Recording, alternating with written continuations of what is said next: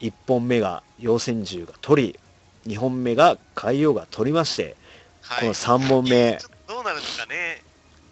じゃあ、すべてのパーソナリティで見届けていきましょうか。石子さんいますか？ああ、いいお湯でした。あ、ちょうどほかほかですよ。コメントめっちゃ早いなって言われた。石郷さんもさっぱりしたところでですね、デュエルはさっぱりというか、消すというか、3本目にもつれ込みましたよ。あ、そうなんですか。いやーもう、あ、本当そりゃすごいね。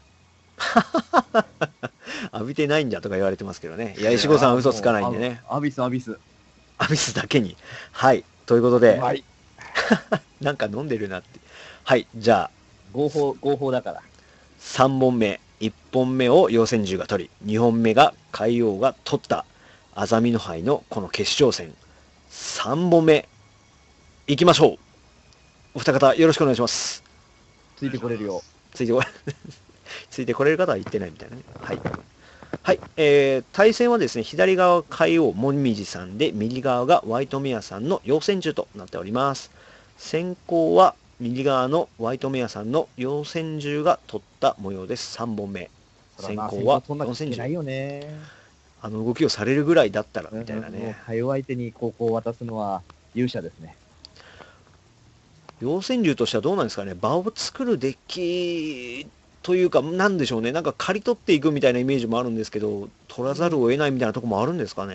ただ、永続罠は多いので、メタビの動きとして、ああ、なるほど、なるほど。虚無空間とか張れば、まあ、海王のディーバとかは止めることは可能ですね。なるほど、なるほど。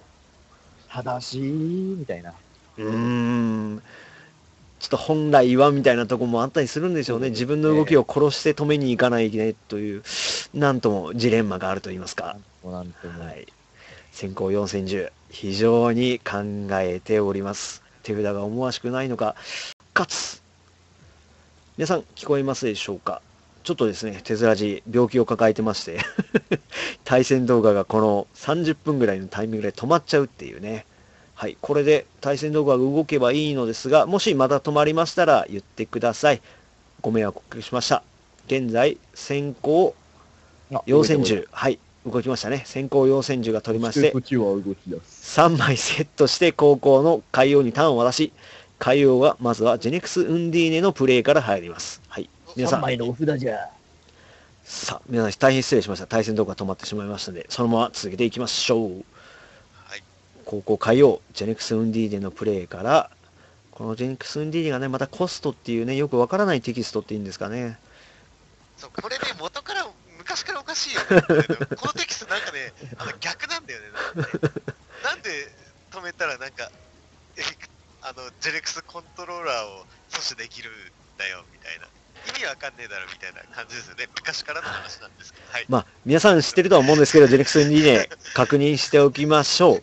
このカードが召喚に成功したとき、デッキから水属性モンスター1体を墓地へ送って発動できる。ここの部分ですね、おかしいのは。かわいいね。イラストとかね、あの、ステータス的には可愛いんでしょうけど、はい。そしてジェネクスコントローラーを加えるっていうね、あ、それだけじゃんみたいなとこあるんですけど、まあ、結局他のカードが強いからっていう言い方もできるんですかね。この単体の本来の動きじゃないというか、なんというか、いやいや、これはもう、ね、ジェネクス帝の肝ですよ。ジェネクステイの木も、そうですね。昔はコントローラー持ってくれダメだけど、そうなんですよね。黄泉ガエルを落としてコントローラーを持ってくるという、あのね、確かに。往年のミカドデッキを、懐かしいな。はい。さあ、ジェネクス2でね、あれは竜気体でしょうか。竜気体をコストに、ジェネクスコントローラーを手札に加えます。ここで終われば話が早いんですが、驚異の2枚サーチ。はい。竜気体の効果で何を加えましょう、シェルさん。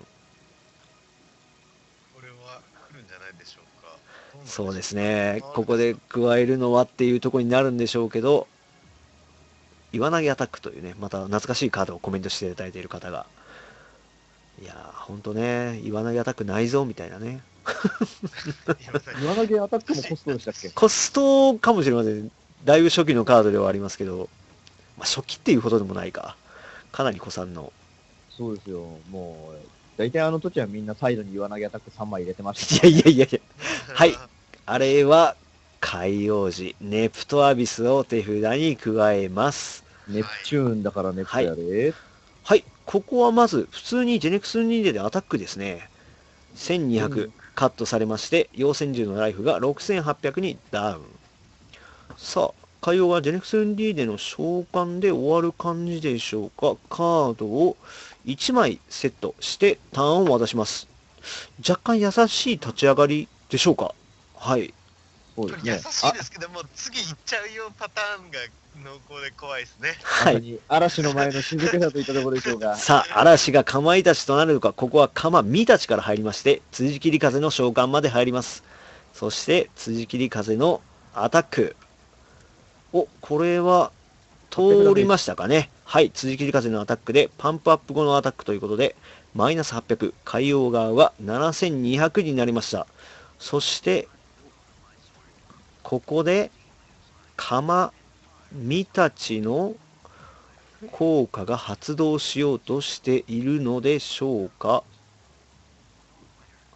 カマミたち以外の妖戦銃がダメージを与えたので、カマミたちがデッキから妖戦銃をサーチするあれですね。はい、これテキスト確認しておきましょう。ででで1、んでんでん1と3の効果は？ちょっと待って。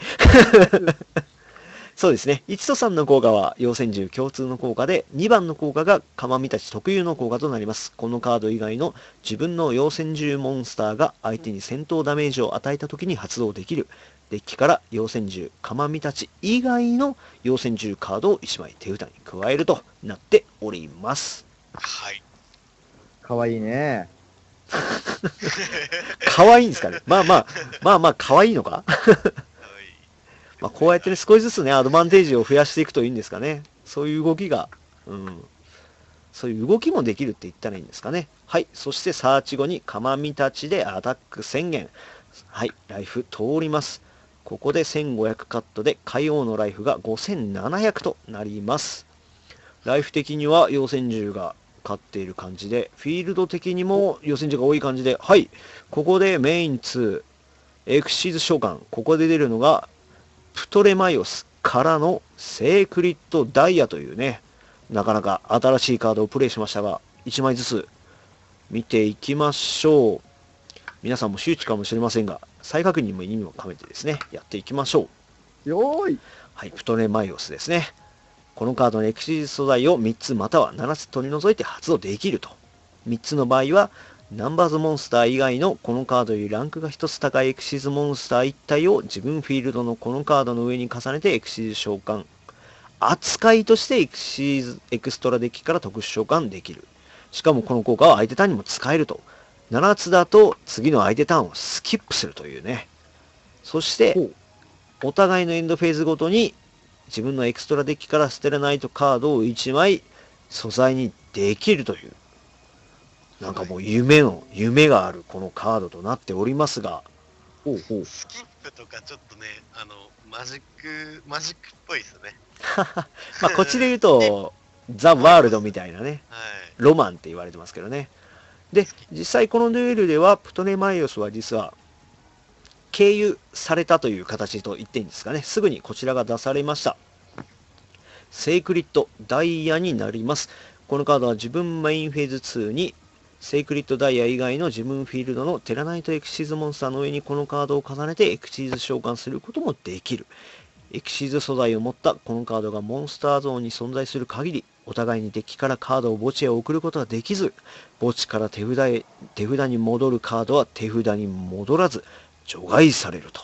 そして2番目の効果は、相手の闇属性モンスターの効果を無効にし、破壊するということで、特にこのデュエルでは、シェルさん、1番目の効果と言っていいんでしょうか？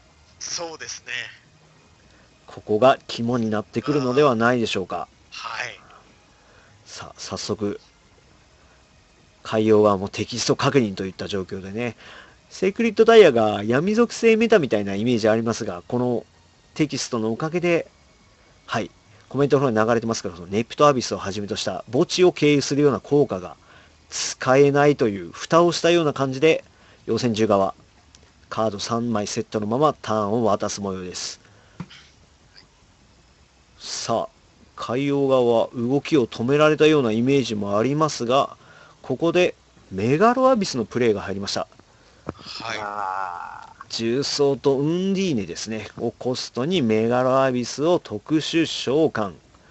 そして、重装の効果でダイヤが触られた気がしましたが、これに対して、はい。セットは3枚ありますが、陽線銃側、ここを止めたいところ、そうなんですか。はい。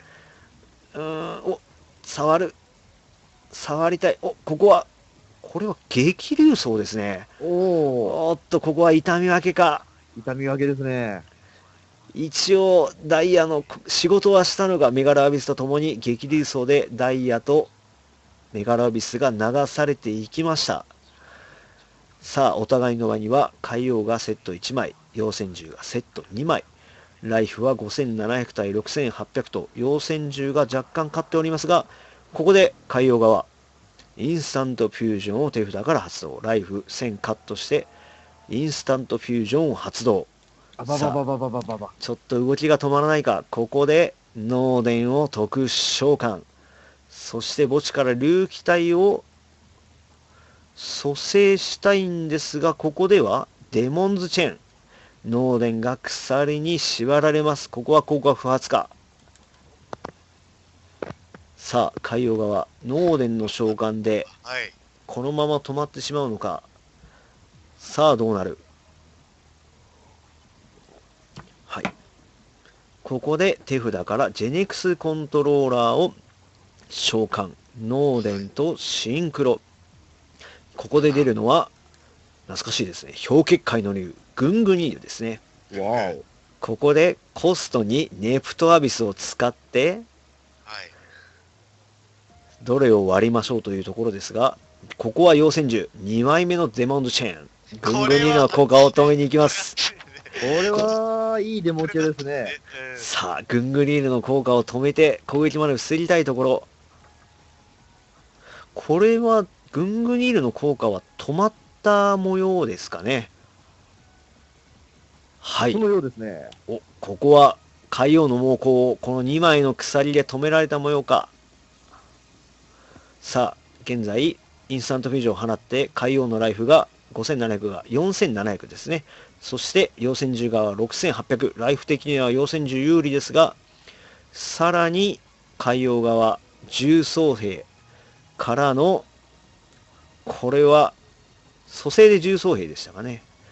で、メガラアビスのプレーまで入りまして、ドドンという掛け声とともに攻撃が通ったのでしょうか。おっと、この攻撃が通った模様です。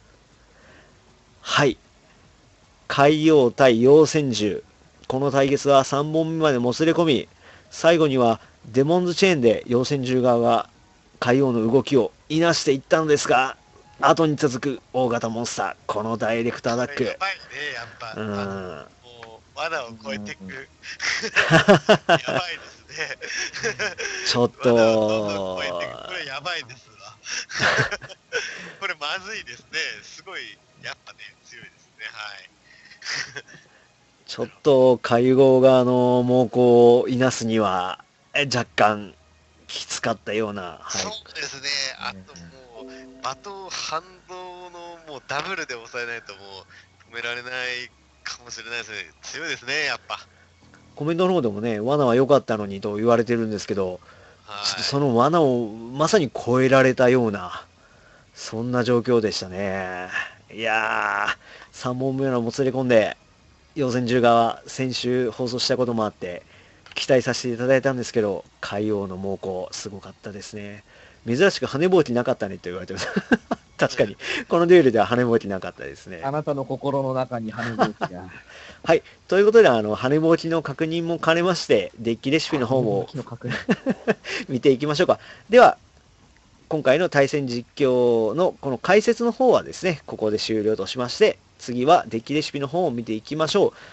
海洋対陽戦銃の対決は2対1で海洋の勝利となりました。えーお三、お二方か、とリスナーの皆さん、一旦のお別れです。ありがとうございました。さああ、お別れ？一旦の バイバイ。